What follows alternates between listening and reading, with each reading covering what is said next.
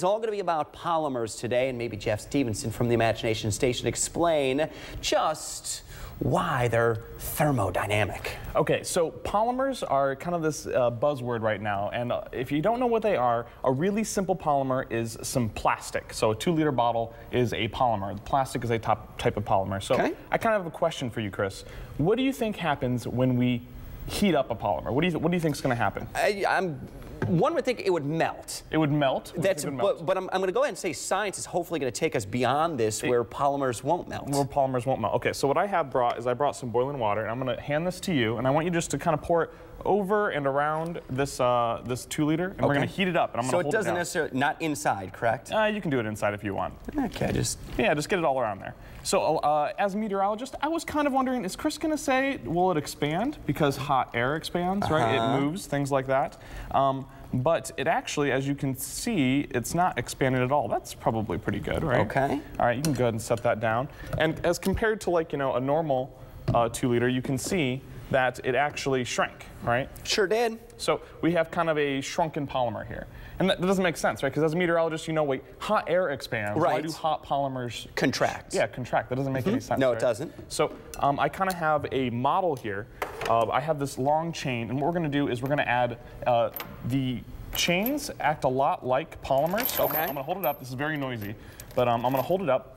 And so if you were to microscopically look at one of these plastics, it would be a long connecting chain of MERS or polymers. So it would be a lot of different units all connected together. Okay. So if you want to pick up yours, I'm going to pick up mine. We're going to hold them like this, okay? Now, this is kind of what it looks like under a microscope. And if we're going to add some temperature, add some energy, we're going to get it moving. Are you ready? Okay. So we're going to do this. So as you can see, we'll pause it for a second. As you can see, um, it starts out this long, and as we add energy to it, and it is just kind of fun too, right? To shake around Right. a giant, really heavy chain, um, but it actually shrinks up. So that's kind of like in a, a, a little model what's going on. here. Okay. So we'll go ahead and set these down now. They're, they're really loud and kind of annoying. But what's uh, kind of a fun thing you should not do at home if you want to keep your microwave is you can put different things in there like polymers and add some energy to it. So these plastic bags have a little aluminum coating in there so it's going to make a spark. Okay. But I'm going to go ahead and put it in our microwave. This is, this, this is a fun thing to do if you have a scrap microwave you got from Goodwill. Do not do this at We- your parents' microwave at We've home. been forewarned, all right? Kids, Okay. just turn your eyes right Okay. now. So there'll be a little spark. You probably won't be able to pick it up on the camera too well.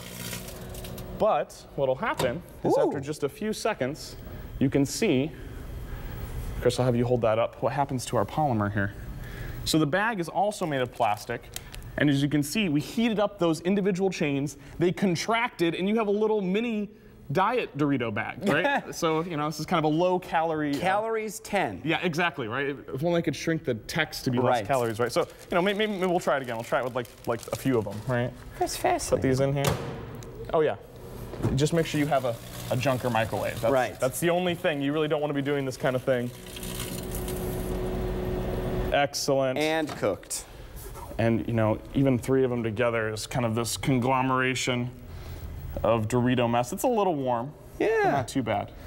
Especially compared to the regular size. So that's kind of like some fascinating polymer science. You don't, you know, you don't usually get to see. You think polymers, we're going to be doing some boring lecture, but no, we're melting, not really melting, but uh, shrinking two-liter bottles and uh, shrinking uh, plastic Dorito bags. Very cool, Jeff. You guys are always talking science down at the Imagination Station as well. Uh, Yes. Mythbusters, a big thing that's been extended as well. It, Mythbusters has been extended, and what's a really cool opportunity right now is you can sign up for our Little Scientist workshops. Okay. The online registration just went up, so if you have a little scientist like kindergarten under and you want them to get involved in some cool science, maybe not microwaving stuff, but lots of other things like instant snow and uh, really cool experiments. You make it easy for little kids to learn. That's the cool thing. Make it fun. Definitely. Make it fun. Yeah, you make it fun, you make it easy. Those go hand in hand. All right, Jeff, thank you so much. Appreciate that. There's so much more. WTOL 11, your day on your way. First, though, here's what to look at. We are working on for WTOL 11 News.